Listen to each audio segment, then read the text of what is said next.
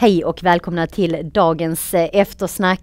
HF spelade mot Åtvidaberg här hemma på Olympia igår och matchen slutade 0-0. Och gäster idag är Jesper Björkman och Arne Smarason. Välkomna hit. Tack, tackar.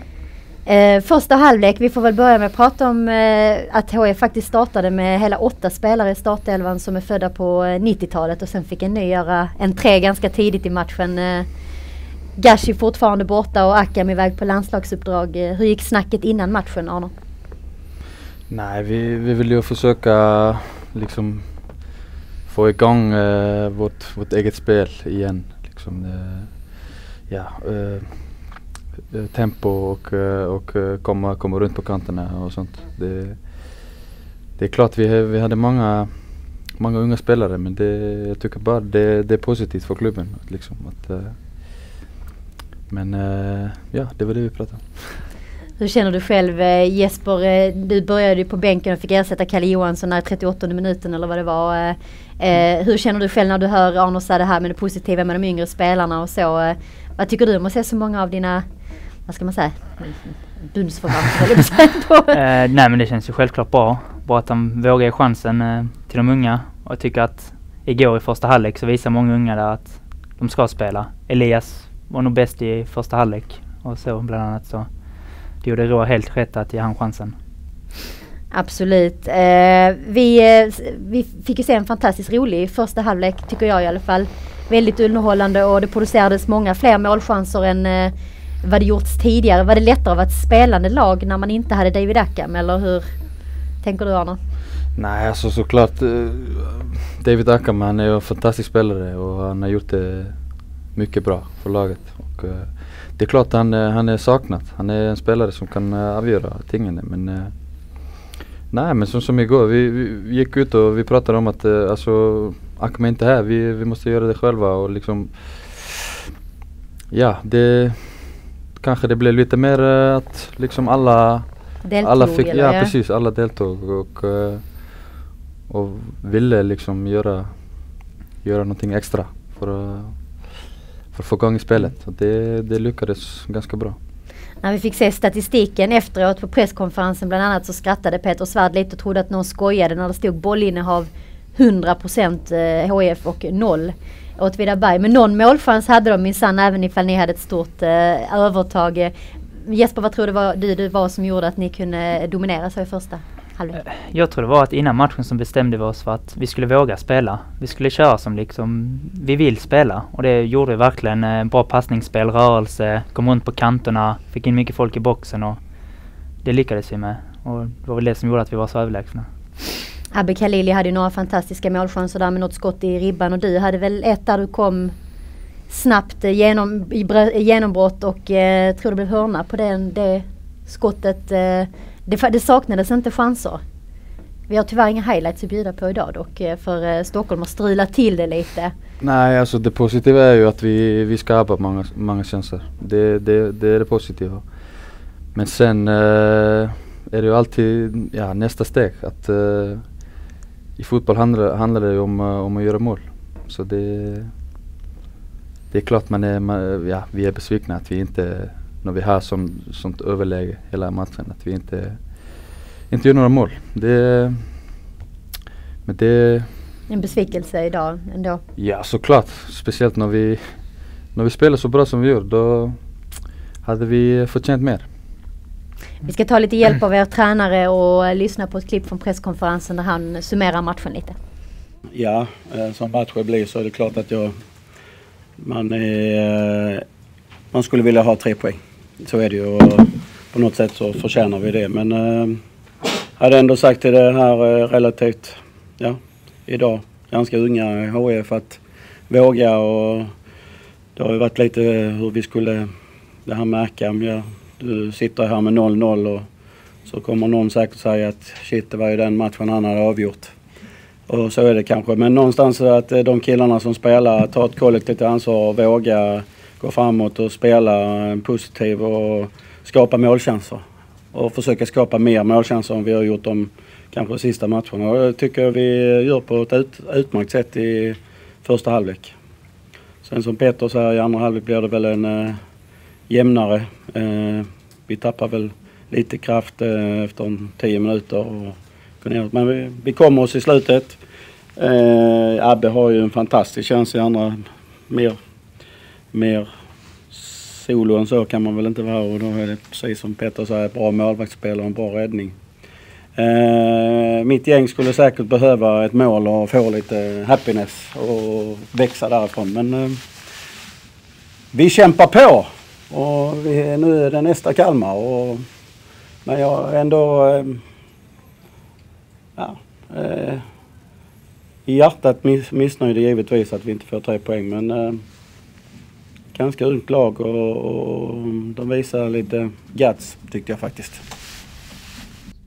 Jesper, några kommentarer till det som din tränare säger här på presskonferensen?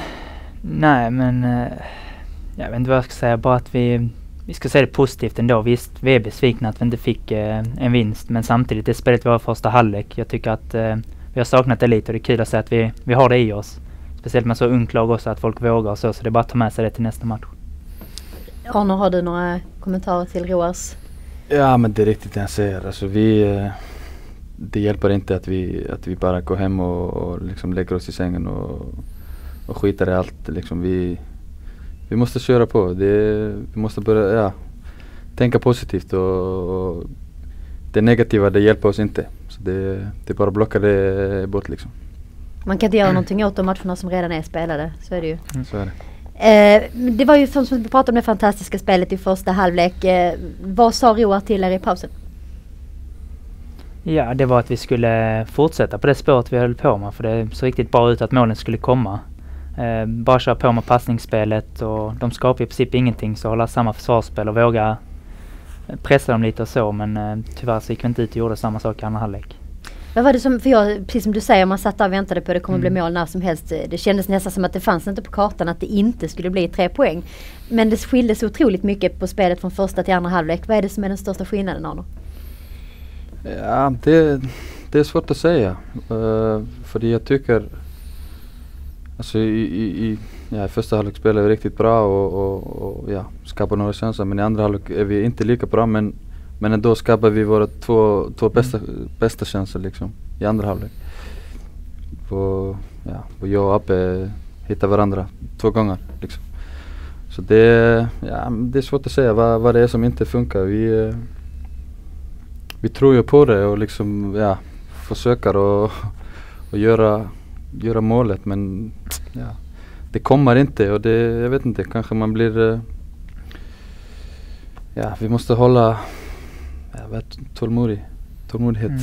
Jag har tålamod. Ja, tålamod, ja. ja det, det är kanske det. Man blir för otålamodig och, och vill för mycket. Mm. Lite frustrerad kanske också då när man ser att spelet förändras och, och det inte går som det gjorde i första halvlek. Mm. Eh, vi har fått en fråga här eh, av Martin Dyberg. Vad han tror anledningen är att det knyter sig just nu i målproduktionen. Kan det ha med självförtroende att göra? Jesper, vad tror du? Ja, men äh, som sagt nu hade deras målvakt en väldigt bra dag och vi hade lite otur vid avslut och så. Det var väldigt många som satt precis där de skulle. Han var ändå där så det är väl en liten del har det kanske att göra med och att vi känner väl, får vi inte in den så blir man ännu mer ängslig och så men äh, nej, lite dåligt självförtroende är det kanske men jag skulle inte säga att det är huvudorsaken. Vad tycker du Arne? Vad tror du? Hur, hur jag, tycker, mycket... jag tycker det är bara att få in ett mål och sen börjar det började... Lossnar det liksom. Ja, absolut. Ja. Det... Men är det lite så när det går tungt för ett lag då poängen uteblir och målen uteblir. Kan det också vara då att man behöver det där lilla extra flytet, att man inte har det. Man saknar liksom att det knyter sig lite spelet. När det går tungt som du säger. Mm. Håller, tror du det också? han kan jag vet knappt vad frågan. Han ska bli programledare i sitt nästa liv. Vad jo, jag, frågan var egentligen ifall, ifall det knyter sig men när det går lite tungt. Jo, men, om, ja. om man då saknar det här flytet som man kanske har i medgång. Ja, jo men det är man klart. Man har ingen alltså, vind i ryggen. Nej, liksom. nej, man kände väl att skulle vi fått in ett mål skulle vi fått in mm. fler men nu när mm. vi inte fick det så blev det ju tungt såklart och det är förmodligen därför vi går ut och inte gör en lika bra andra halvlek för att vi känner att det här skulle vi avgjort i första. Så tror jag inte riktigt att vi orkar driva på samma i andra tyvärr. Vi tar och eh, lyssnar lite på en spelare som eh, gjorde allsvensk, eh, inte allsvensk debut, men från start igår, Elias Andersson i alla fall. Och lite, han summerar sin prestation så här. Eh, jag är nöjd med min första halvlek. Eh, andra blir lite stillastående och eh, steget blir lite tyngre men jag är nöjd med min första halvlek. Väldigt många unga spelare i HF idag. Mm. Hur märks det på ert spel tycker du när det är yngre spelare?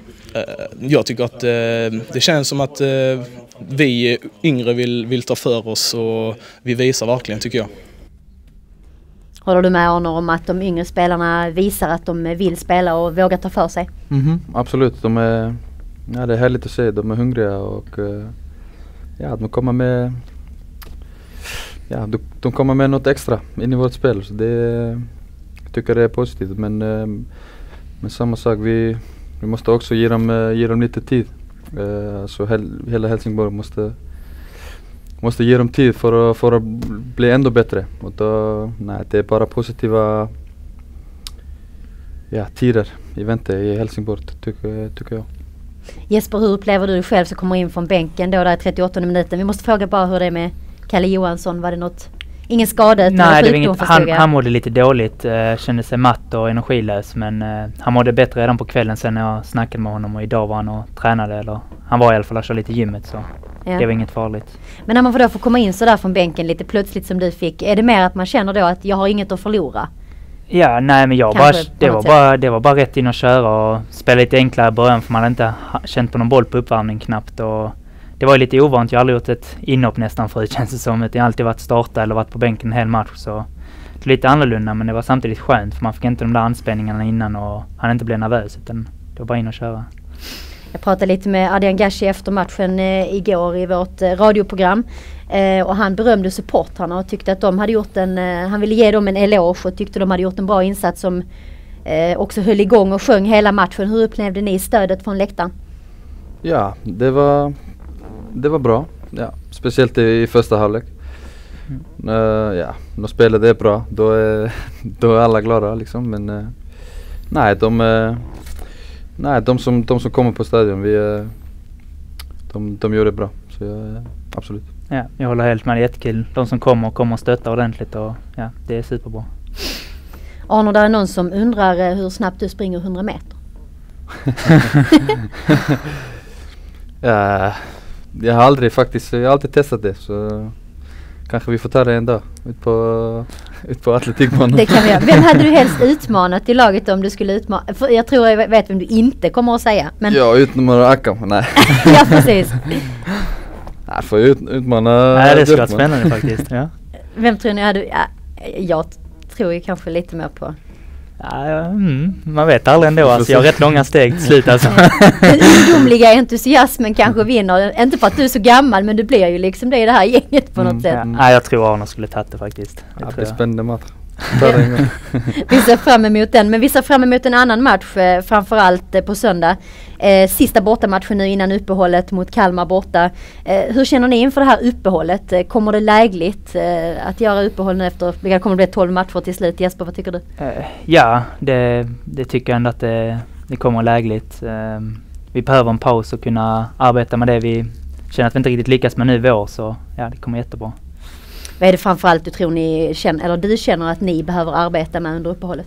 Um, nej, det är klart uh, Ja, uh, vårt mer offensivt spel. Alltså, jag tycker att vi är, vi är ganska bra defensivt. Vi, vi har inte släppt in mål på sista, sista två matcherna i Allsvenskan. Och, uh, nej, få, få bollen in i, in i nätet, det måste vara det, det mentala det primära som, ja. målet liksom. Ja. Mm. Och så, får ni kanske lite hjälp med det sen efter när eh, allsvenskan startar igen efter VM-uppehållet. När Imad Khalili kommer tillbaka. Reaktioner? Ja såklart alltså han är mycket bra spelare. Han, han visade det ju förra året att han är, han är en duktig spelare och, och, kan göra mål. Så jag är, jag är klar att han är, kommer tillbaks. Ja, jag håller med. Det känns jättebra att få lite en annan spelstil också. Vi har ju Simovic Alvaro som är rätt lika varandra. Imad är lite annorlunda, lite, lite snabbare och lite mer djupled kanske och, och så. Så det kan bli riktigt bra för oss. Lycka till eh, uppe i Kalmar eh, på söndag så ses vi på hemmamatchen mot Falkenberg den 1 juni. Tack så mycket. Tack för att ni ja, kom hit. Tack. Tack för att ni har tittat på eftersnack idag. Tack för att ni har bidragit med eh, era frågor. Vi får se om vi någon gång i, i framtiden kanske får se ett race mellan eh, eh, Jesper och eh, Arnold. Det hade varit spännande. Jag hade definitivt varit där för att titta på det. Eh, tack för att ni har tittat på oss. Vi är tillbaka med eh, eftersnack efter Kalmar-matchen. Ha det gott tills dess. Hej då!